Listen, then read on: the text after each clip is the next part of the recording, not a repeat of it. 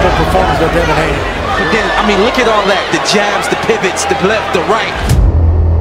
Everything that Devin Haney is putting together tonight is showing that he's in a different class. Fight fans, welcome back. It's over! Ryan Garcia gets his 20th knockout! A new year present is on its way as a daring duo confirmed they had made contact outside of the ring. I told you you're gonna feel some fear, right? Didn't I tell you that? Didn't I tell you you're gonna feel some fear you ain't felt? In order to initiate contact inside it in 2024. We've seen Ryan quit before. This won't be anything different. No tired tune ups or messy marination. Two top talents striking while the iron is hot to secure yet another big money fight. It's time for boxing's highly anticipated showdown. Here we present Devin the Dream Haney versus Ryan Super Rye Garcia. Welcome to a Motivedia presentation. Like it, I just, it was like I couldn't get to him. You know, I, I was trying and trying and trying, and then just couldn't get to him. I am going to get it.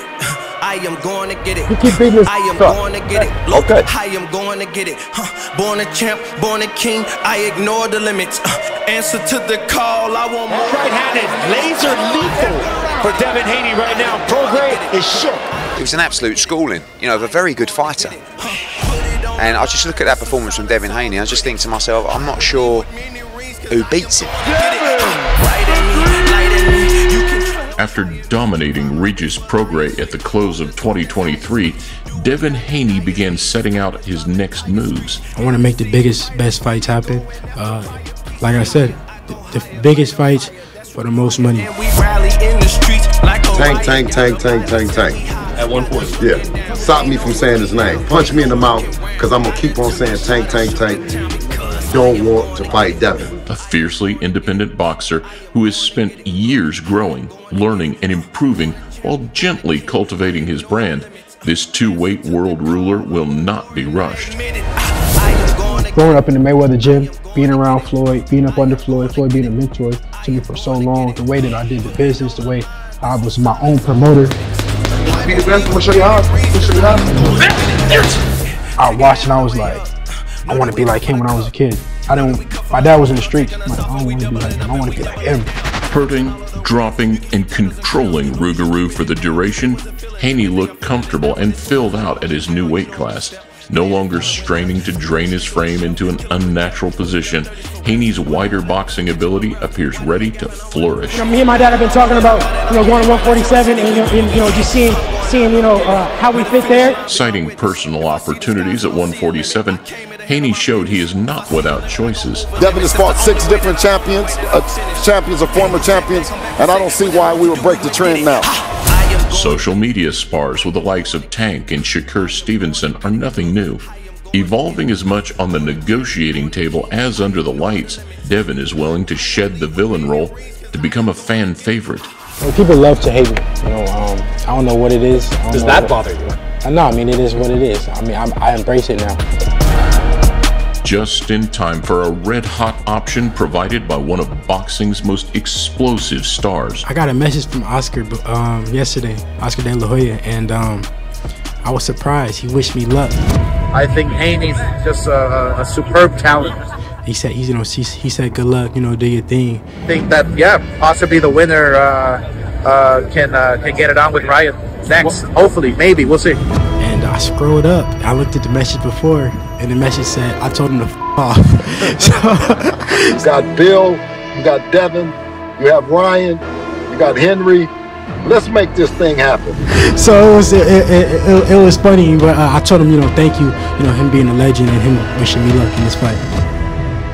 Ryan Garcia actively instructed his team to approach Haney and get the ball rolling. Ryan messaged me like a month ago and said, I want to fight Devin Haney. I just want you to know I'm taking that fight. A lot of these people, they're only looking at it as a business instead of sport or legacy or glory or, or really true authentic greatness. I'm the only one that is putting into action and know how to make it happen.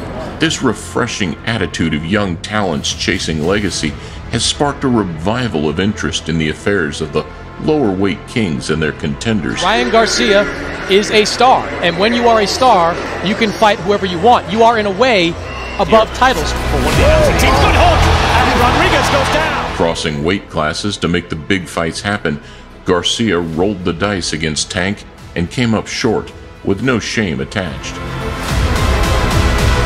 So when I lost, it was just like I don't give a shit. Like I already, I came in with a separated rib and all this stuff, and looking at it, it's like, bro, why didn't I care? That's crazy.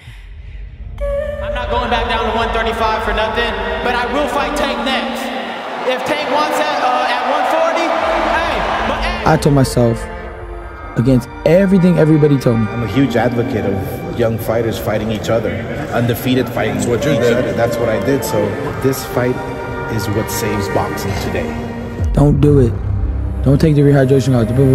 All the things that he put on me, right?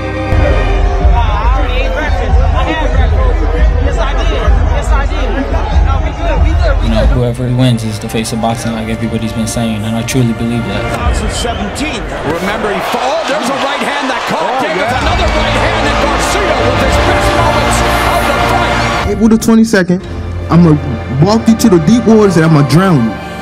They're gonna have to pick you up. I promise. Gervonta Tank Davis just stopped Ryan Garcia. And then a little later on, I mean, like a month later, it was like, oh, shit, like I did lose. Mm. That, that happened. And it kind of hit me, and I was like, I'm never going to lose again. I don't want to lose again. Yes, it's the right move, and you got to give this kid a lot of credit because he went straight from making one of the biggest fights of the year with Tank Davis, and now going back to a big mega fight with Haney. Refusing to linger on the loss, Ryan returned swiftly to the ring, eager to sharpen his skills under the eye of new coach Derrick James. Dev said that he's going to beat the shoulder roll out of him. He better not do that shit. But again, you better listen to your corner. If Derrick James tells you not to do that, you better not do it. While the shoulder roll experiment may have been unorthodox, the sizzling finish of Oscar Duarte was classic Rye.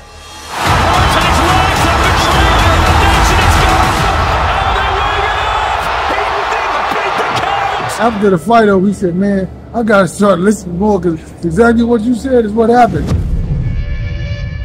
Any reason why you're looking around? Somebody? I'm just trying to see that coward in front of me, though.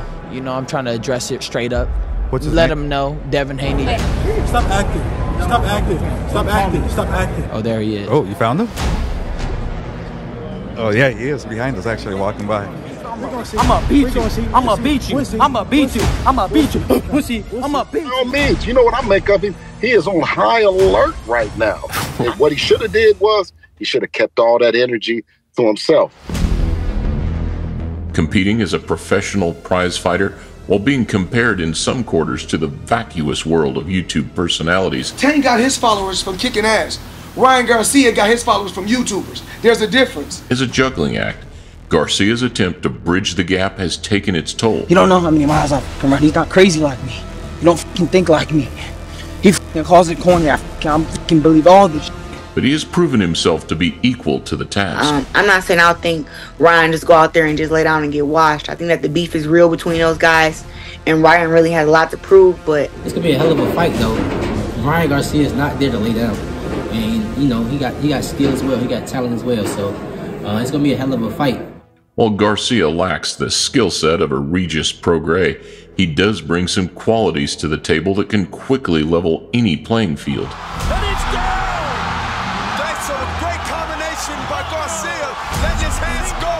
including a nuclear left hand that has fomented his 83% KO ratio. Oh, and a left hand! Sits Fonseca down! Flat on his back! Ryan's gonna come after him hard. You know, it's gonna be a it's gonna be a dogfight. Yeah, everybody's excited. I mean, Haney, on the other hand, holds a 48% ratio. More measured than incendiary, Devin prefers to utilize other advantages. This dude longer than, than Tank. Right. He faster than Tank. He got he got the footwork. He got such as his 71 inch reach, which statistically is only an inch longer than Ryan's, but morphs into a powerful range finding jab that has occupied many previous victims. This crowd taking no prisoners, already booing these guys. Straight right hand lands for Devin. Jab just popping right now for Haney. The dream. These 25 year olds have trodden different pathways, with Haney fighting over double the number of rounds and being content to travel the 12 round championship distance on eight occasions. If he makes it through this round, he wins the fight.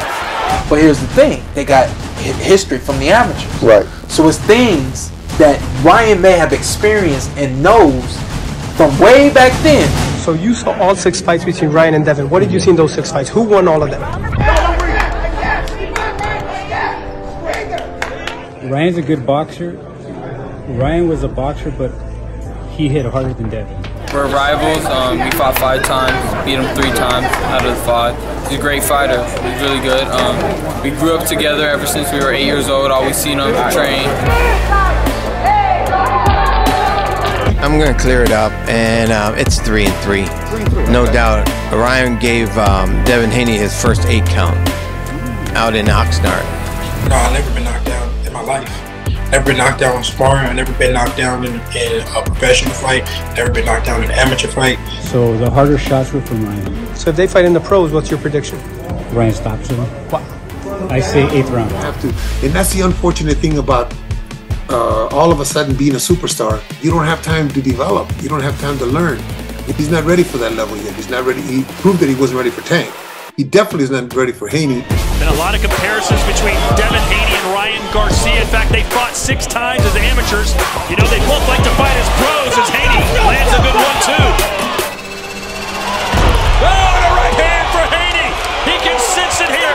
Switching to Eddy Reynoso, Garcia 4-0 with four knockouts in a total of nine rounds. The early rounds are Ryan's territory, and the later rounds are Haney's. Yeah, you always want to go to the to the later rounds. You know, that's when you use your experience. That's when you bring all, all the tricks out. Ooh, that one got around the gloves. To maximize his chances, Garcia will probably have to channel Jorge Linares' quick fisted success at a point. amazing, amazing hook, amazing power, speed. But for now, he needs to change a lot of team.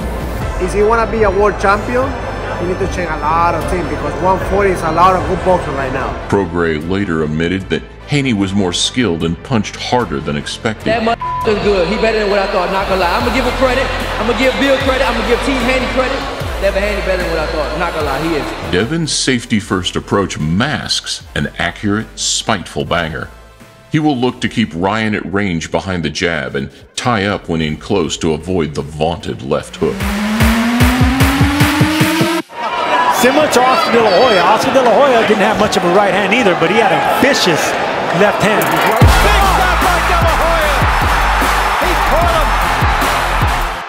Luke Campbell and Tank dropped Ryan, but he shook off both falls. Each of those contests ended on the body. He could have possibly got up, but the legs refused. He said Ryan's a quitter, right? He said, you know, watching that Tank Davis fight, he quit in that fight. And he said, once a quitter, always a quitter, and he sees him quitting again. We we seen Ryan quit before, and uh, I think that uh, this won't be any, anything different. You know, once you have that quit in you, um, you know, it's installed in you. You know how to do it. I think I think he'll quit on April the twentieth. I mean, he, he got hit right in the body, and yeah, a lot of guys won't get up from that. So you don't think he was looking for a way out at that I point? don't, I don't think so. Only Ryan, I'm not this body. You're not this body. Nobody out there is in the body. So it's between him and God, um, as some people might say. For weeks, he has been insulted by Duarte, called a clown and a quitter.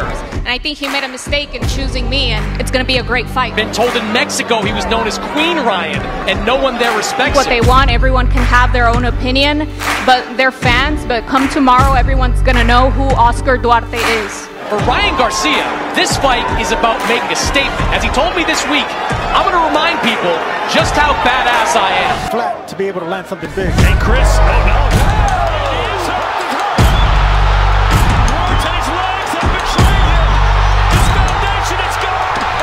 With Ryan's speed and single punch power, the margin for error is slim. We've seen from Garcia before, one punch is all it takes. If Haney ships a clean shot and is buzzed, his octopus hold will be required in full effect. Wait a minute! Wait a minute! Haney perhaps on wounded knees. After ditching Joe Goossen, Flash Garcia must find similar corner consistency to Devin's relationship with father and trainer Bill. Hey, how you doing? How you doing? You got me right now? Hey, he in trouble. He in trouble. There is no shortage of possibilities for the winner as Teofimo, Tank, and Shakur lie in wait.